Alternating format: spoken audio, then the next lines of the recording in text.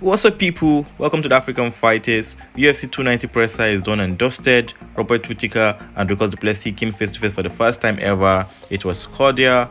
The two shook hands and then straight away switched straight into business. Dricus Du Plessis with that stance, coming straight close to Whittaker, giving him that straight eye to eye contact. Whittaker, on the other hand, did not flinch. He was there to feel the process and soon after gave Dricus Du Plessis a handshake. Dricus Du Plessis was not expecting the handshake, was not interested in that handshake actually. Du Plessis all zoned in and focused, ready for business.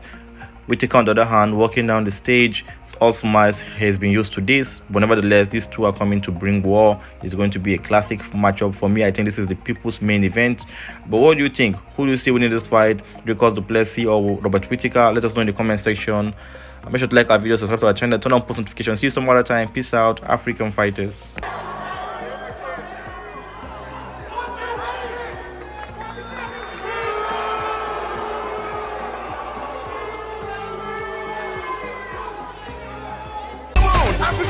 Africans!